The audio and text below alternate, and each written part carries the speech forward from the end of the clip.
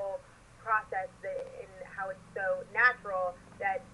it's basically just letting rats loose in a cage and, and they're all going to eat each other and the whole process behind